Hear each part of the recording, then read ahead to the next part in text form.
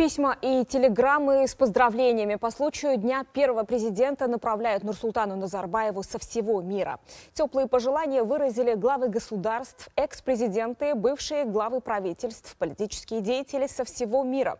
Крепкого здоровья и больших успехов во благо страны пожелал президент Узбекистана Шавкат Мирзиёев. 66-й госсекретарь США Кандализа Райс в своем поздравлении подчеркнула особую роль Ельбасы в поступательном развитии Казахстана. В своем поздравительном адресе экс-президент Турецкой республики Абдулла Гюль отметил вклад первого президента Казахстана в становлении молодого государства и укреплении международного сотрудничества. Успех и стабильность страны обусловлены лидерством президента Назарбаева, написал в телеграмме бывший премьер-министр Великобритании Тони Блэр.